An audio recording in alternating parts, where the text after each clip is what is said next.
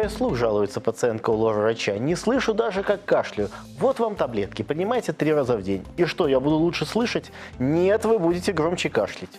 Шутки шутками, но на сегодняшний день науке известно более 200 лор-заболеваний, каждая из которых характеризуется своей симптоматикой, протеканием и требует особого лечения.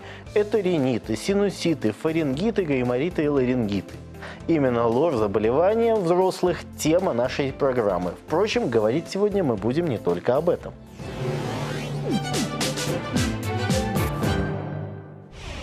Простые вопросы о здоровье. Каких таких явных отклонений нету. Ну вот на ножках шелушение. Что с ним делать, никто не знает. И ответы на них. Это связано в первую очередь с недостатком витамина А. Мелкое неудобство или серьезная проблема? Однозначно сказать, что это проблема у врача-отоларинголога, ну, это не совсем правильно трактуется. Известная американская писательница, автор книг по популярной психологии Луиза Хей писала, как только человек заболеет, ему в первую очередь необходимо подумать, кого ему нужно простить. Кстати, сама мисс Хей – одна из немногих, кто на своем примере доказал, что мысли могут исцелять тело, а ее книги на эту тему до сих пор остаются в списке самых издаваемых в Америке. Позицию выздоровления через позитивное мышление, как сопутствующий курс при основной терапии, поддерживают и разделяют многие, в том числе и белорусские врачи. Что еще в рамках медицинской темы интересует жителей нашего города, об этом традиционно в начале программы. У нас э, непонятного рода какая-то аллергия. Мы были аллерголога э, в медгородке, я точно не знаю, как это называется, у аллерголога проходили детского. Вроде бы все ничего, все хорошо, каких таких явных отклонений нету, но вот на ножках шелушение. Что с ним делать, никто не знает. Аллергопробы, например, у деток таких маленьких не берут. У меня знакомые жалуются, что сильно болит голова. Вот что такое, я слышал, есть такое понятие э, головная боль и напряжение. Вот. Но пока ведущие специалисты пытаются найти ответы на эти достаточно непростые вопросы, я хочу представить гостя сегодняшней программы. Итак, знакомьтесь. Александр Валерьевич Черныш, заведующий оториноларингологическим отделением Гомельской областной клинической больницы. Здравствуйте, Александр Валерьевич. Добрый день. Э, Ну, тему нашей сегодняшней программы мы определили как ложь болезни у взрослых. А вот вообще, с медицинской точки зрения, разделять на ложь болезни у взрослых и детей, это правильно? Ну, теоретически э, болезнями лор-органов болеют как взрослые, так дети, так и пожилые, то есть пациенты всех возрастов. Э, Особенности просто лечения, особенности хирургического лечения данных контингентов населения э, приводят а, на условное деление, на, на заболевания лор-органов в детском возрасте, ну и, соответственно, у взрослых. Ну, а с вашей точки зрения, вообще, кого проще лечить ложь болезни, у взрослых или у Детей. детей? У детей? Детей. Ну что ж, э, понятно, что тема ложь болезни, она, конечно, очень большая. И, в принципе, э, в этой студии будет затрагиваться не один раз. Но сегодня мы хотим такой обзор небольшой сделать. И начнем, пожалуй, мы вот с чего, с насморка. Согласно ну, народной мудрости, да, насморк, если лечить, то он проходит за 7 дней. Если не лечить, то проходит за неделю. Возникает резонный вопрос, а стоит ли вообще лечить насморк? И э, сразу следующий вопрос, вот э, насморк и ринит, это одно и то же? А, Насморк – это обиходное название ринита, а ринит э, по всем словарям и Ожегова, и э, Ермолаева – это относится к воспалению слизистой оболочки полости носа. Ну и, от, э, соответственно, производное от слова «насморк» идет «сморкаться», переводится в обиходе как э, выделение слизи из полости носа излишней. Э, Ну, с- э, риниты – это группа хронических или острых заболеваний, э, которые характеризуются воспалительными изменениями со стороны слизистой оболочки полости носа. Острые риниты – это чаще всего проявление вирусных инфекций. Хронические риниты делятся, соответственно, на несколько вариантов. Есть вазомоторные риниты, наиболее часто возникающая группа ринитов, аллергические риниты, э, риниты профессиональные, риниты беременных, э, риниты смешанные формы. Э, Бывают, когда э, сочетаются несколько признаков данной группы ринита в одной или во вторых э, половинах носа. Лечить риниты, конечно же, стоит, потому что э, отек слизистой э, мешает э, оттоку из верхнечелюстных пазух, из лобных, соответственно, осложнением ринита может э, развиться синусит. Э, Ну, кроме того, снижают качество жизни. Э, Человек с платком, человек постоянно не дышащий носом, э, соответственно, приводит к развитию гипоксии, каких-то неудобных косметических явлений. Постоянно раздражена слизистая носа. Конечно, это приводит к тому, что эти пациенты обращаются к оториноларингологу для определения какой-то тактики дальнейшего лечения, коррекции внутриносовых структур для того, чтобы избежать в последующем э, развития симптомов ринита. Александр Валерьевич, еще одна достаточно большая группа лор-заболеваний – это гаймориты и синуситы. Ну и чтобы для наших телезрителей внести определенную ясность, я предлагаю посмотреть небольшую анатомическую справку.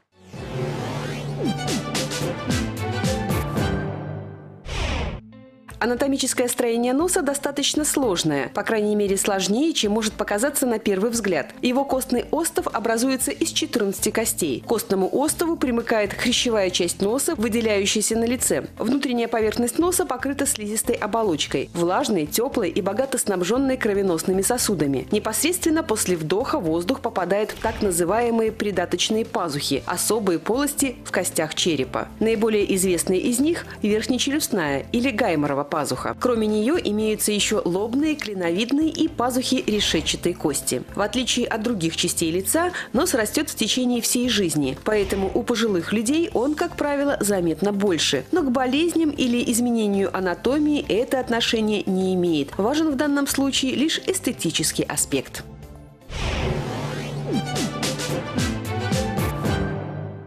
Ну, как мы поняли из э, репортажа, э, в общем, э, гайморит связан каким-то образом с верхнечелюстной пазухой. А что же такое синусит и в чем разница? Я хочу немножко пояснить, что в анатомической классификации существуют синусы, около, околоносовые синусы или пазухи, к которым относятся верхнечелюстная пазуха, клетки решетчатого лабиринта, лобная и клиновидная пазуха. Исторически сложилось так, что э, анатомически описал э, верхнечелюстную пазуху Натаниэль Гаймор. И в результате этого произошло как бы и название этой гайморовой пазухи. Поэтому здесь можно поставить знак равно в названии или гайморит, или э, синусит. Ну, в международной классификации это называется сейчас верхнечелюстной синусит, этмоидальный, э, фронтальный или сфеноидальный. Ну, имеется, кроме того, и сочетанные формы, потому что изолированные формы синуситов встречаются чаще всего при острых заболеваниях. А Хронические больше, конечно же, относятся к, поли, к полисинуситам, то есть процесс э, задействованы несколько пазух, э, или верхнечелюстная, клетки решетчатого лабиринта, ну и не- нередко и лобная пазуха. Заболевание встречается очень часто. Основными симптомами э, острых синуситов это э, боль проекции верхнечелюстной пазухи, слизистое или гнойное выделение из носа, повышение температуры, головная боль нередко сопровождается в лобной и лобно-тельменной области. Диагностируется очень просто на основании клинических симптомов и рентгенологических скрининговых методов. То есть достаточно выполнить обзорную рентгенографию придаточных пазух носа для того, чтобы любой врач, в том числе и врач общей практики и терапевт, смогли э, определить, что у пациента имеется синусит.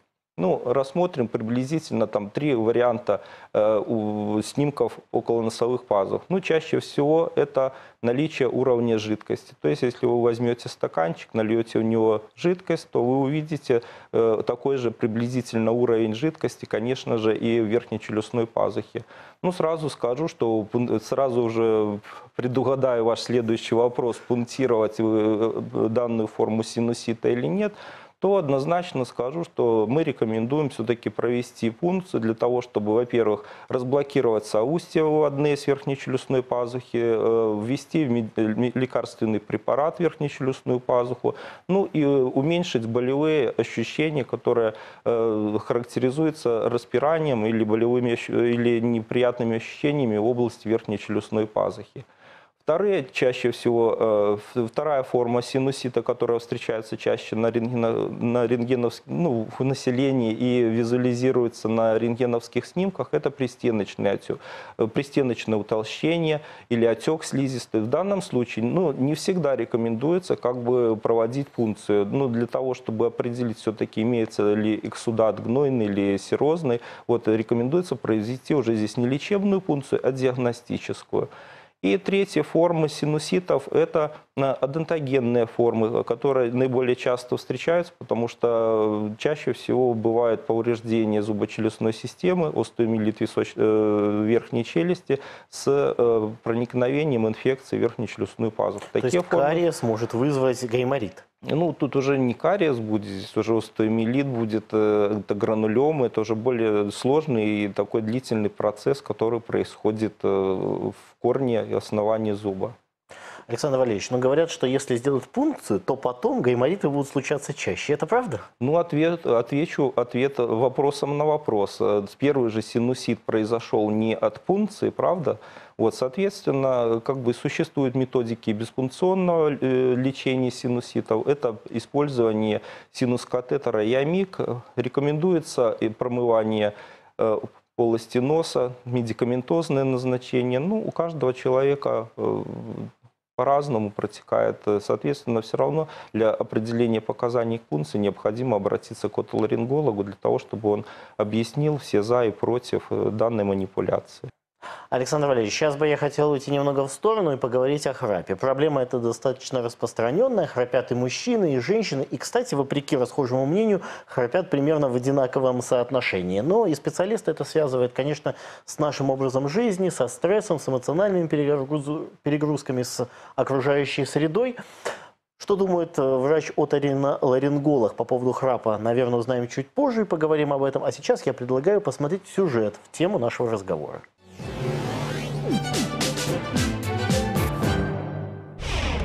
Кто-то, умудренный печальным опытом, однажды сказал, в семье, где все храпят, засыпают на перегонки. Смех смехом, а для большинства взрослых людей это серьезная проблема, которая, впрочем, имеет решение. В Японии, где, кстати, до недавнего времени храп был законным поводом для развода, нашли оригинальный выход. Японские инженеры изобрели подушку-робота для борьбы с храпом. Выглядит она как большой белый плюшевый медведь и оснащена микрофоном, который улавливает звуки храпа. Как только человек во сне начинает храпеть, подушка-медведь мягко толкает его своей лапой, пока тот не повернет голову и храп не прекратится. Неудобство использования подушки робота состоит в том, что в комплект к ней входят два предмета, которые необходимо обязательно использовать. Прибор для контроля за сердцебиением и уровнем кислорода в крови, а также специальный коврик, на котором придется спать человеку. Вот такой он мировой опыт.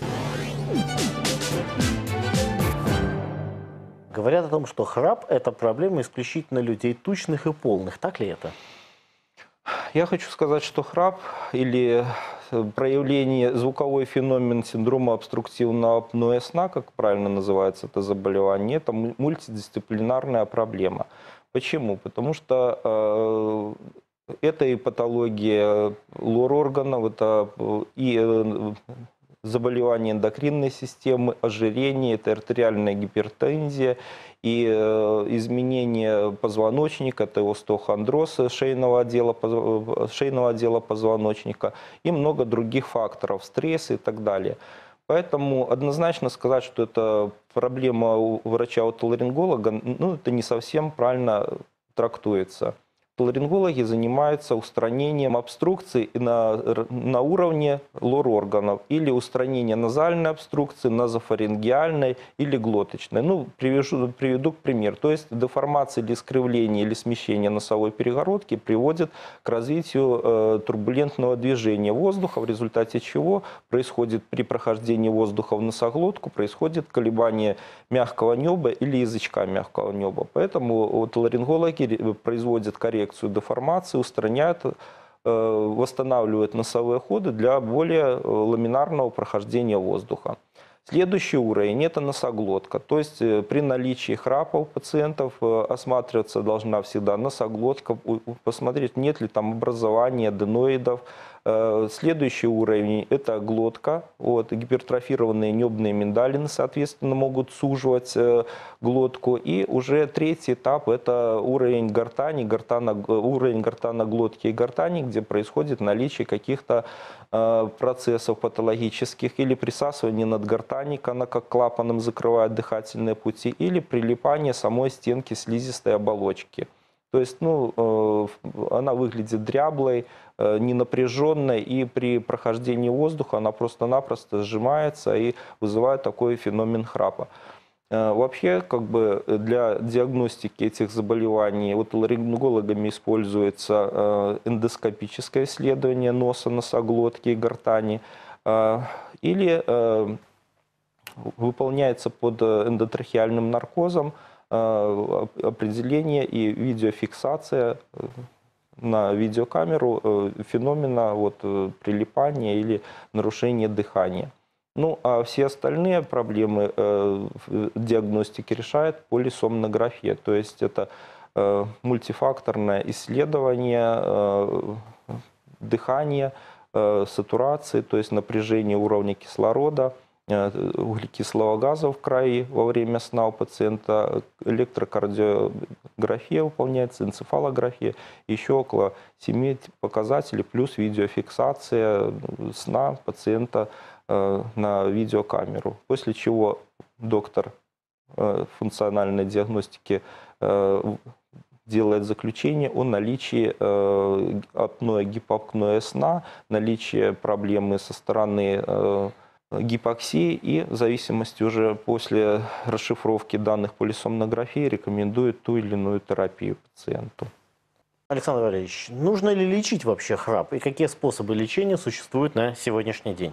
Конечно, учитывая, что храп – это определенная социальная проблема, и, соответственно, мешает совместному проживанию супружеских пар. Вот. э, Кроме того, э, необходимо, выполн- э, необходимо провести обследование, комплексное лечение.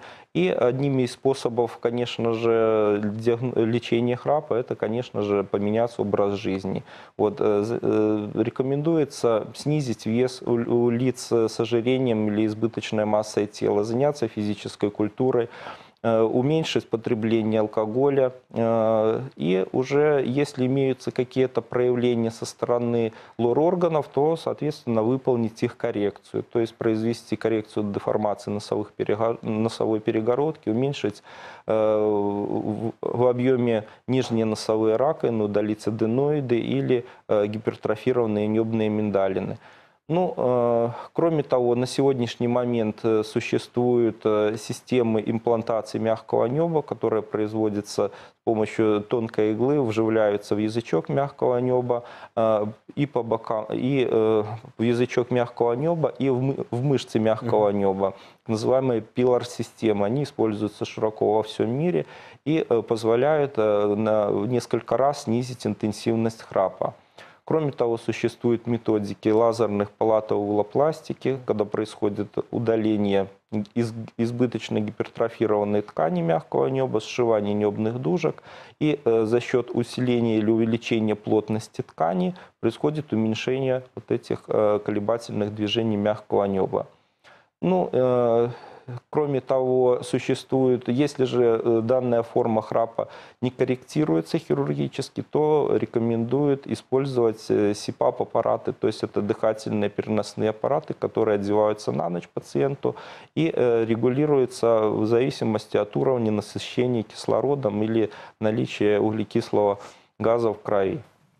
То есть прям спать в дыхательной какой-то маске Да, получается то есть одевается с- маска на нос, и вот человеку при наличии э, гипоксии, при наличии апноэ сна происходит автоматическое включение этого аппарата и нагнетается э, кислород, увлажненные верхние дыхательные пути. Александр Валерьевич, ну, с вопросом про храп более или менее понятно. Давайте поговорим еще об одном вопросе, который вызывает дискуссии на протяжении целого ряда лет, и точка зрения на то, удалять гланды или нет, э, радикально меняется. Изначально говорится о том, что их надо сохранять, несмотря на все осложнения, риск гнойных заболеваний, а другая точка зрения состоит в том, что их при любом э, проявлении проблем тут же нужно немедленно удалять. Какова сейчас позиция медицины по вопросу удаления гланд? Ну, прежде всего, э, я хочу сказать, что что такое гланды? Ну, это то же самое народное название миндалин. У человека э, имеются небные миндалины, язычные, две трубных, носоглоточные, так называемые аденоиды у детей –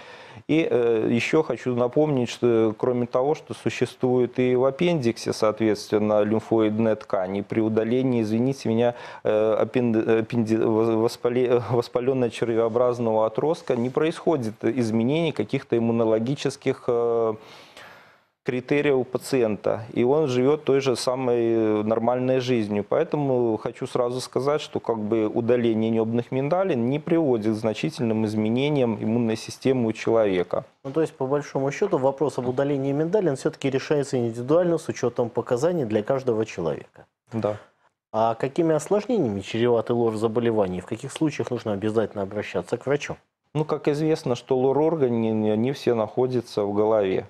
Вот. Э, поэтому грозными осложнениями летальными, с которыми мы боремся уже не один десяток лет, это являются внутричерепные осложнения. Внутричерепные осложнения бывают э, осложнениями как острого, так и хронического гнойного среднего отита и э, риносинусита, то есть гайморита или фронтита. Э, неадекватное лечение острых гнойных средних отитов или э, неадекватное лечение отсутствия хирургического вмешательства при хронических средних отитов нередко приводит к развитию менингитов, менингоэнцефалитов и абсцессов э, головного мозга. Это наиболее тяжкие летальные осложнения со стороны лор-органов. Ну, кроме того, э, со стороны глотки профарингиты, профарингиальные абсцессы, ангины, они дают осложнения со стороны э, как подчелюстной области, так и со стороны шеи. То есть развиваются флегмоны, э, приводящие в последующем к развитию медиастенитом, которые требуют ну, активного хирургического вмешательства данной области. Александр Валерьевич, ну давайте поговорим о профилактике лор-заболеваний и о том, как эта профилактика зависит от времени года. Ну, прежде всего хочу сказать, что определенный образ жизни, это закаливание, это отсутствие инфекции, отсутствие контакта, э, широко используется э, вакцинация – заболеваний, для профилактики острых респираторных заболеваний. Ну и, соответственно, после вакцинации не так часто происходит э, развитие как и острых синуситов, танзелитов и фарингитов у всех групп населения. Александр Валерьевич, ну что ж, наша встреча подходит к концу, и сейчас самое время вернуться к тем вопросам, которые интересовали жителей нашего города в самом начале программы. Тем более, что наши специалисты уже подготовили на них ответы. У нас э, непонятного рода какая-то аллергия. Мы были у аллерголога э, в в медгородке, я точно не знаю, как это называется, у аллерголога проходили детского. Вроде бы все ничего, все хорошо, каких-то таких явных отклонений нету, но вот на ножках шелушение. Что с ним делать, никто не знает.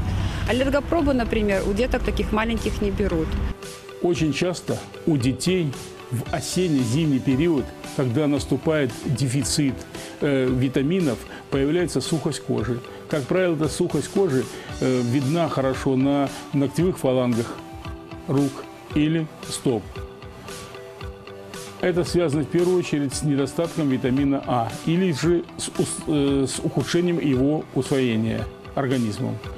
Поэтому нужно, как правило, в такой осенний зимний период либо принимать внутрь витамин А в обычных терапевтических дозах. Витамин А в аптечной сети продается свободно. Он может в таблетках, в дроже, в масле. Принимать нужно где-то месяца полтора. И неплохо использовать крем на кожу, обогащенный витамином А. И, как правило, эти проблемы в осенне-зимний период проходят. У меня знакомые жалуются, что сильно болит голова. Вот что такое, я слышал, есть такое понятие э, головная боль и напряжение. Головная боль напряжение – это э, еще можно назвать цервикогенная боль. Это боль, которая вызывается поражением верхних сегментов шейного отдела. Значит, происходит дисбаланс в позвонках, поражениях позвонков. Страдает население где-то, в основном это 15-20% от всех головных болей. Значит, это не наследуется. Эта боль может возникать в любом возрасте. В основном она поражает людей, которые ведут сидячий образ жизни.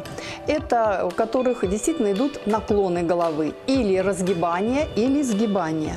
Ну, швеи страдают вот этим, компьютером, кто много сидит возле компьютера, также э, часовщики, Э, Потом люди, которые часто голову поднимают кверху, это маляры, штукатуры. Вот. И боль именно связана с длительным вынужденным положением головы. Значит, поражение идет, как я сказала, в основном верхних три шейных позвонка. Обязательно надо обратиться к врачу-неврологу или вертебрологу, который обследовал, э, обследовал пациента, делает назначение. Александр Валерьевич, спасибо вам за интересную беседу. Я напоминаю, что сегодня у нас в гостях был Александр Валерьевич Черныш, заведующий оторино-ларингологическим отделением Гомельской областной клинической больницы.